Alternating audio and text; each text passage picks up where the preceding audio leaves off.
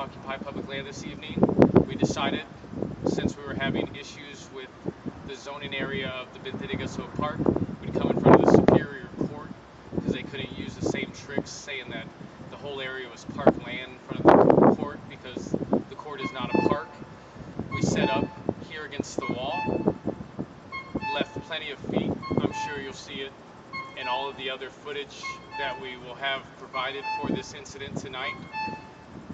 We had about 11 or 12 members of Occupy Public Land arrested illegally once again.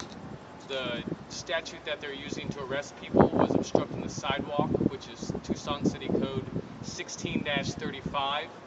We know that it's an illegal arrest because they've been dismissed before, and the Tucson City Code that supersedes 16-35 is 11-36 2B4, which says that if you're practicing freedom of speech protests, as long as you leave five feet of passageway for people, you can sit or lay on the sidewalk.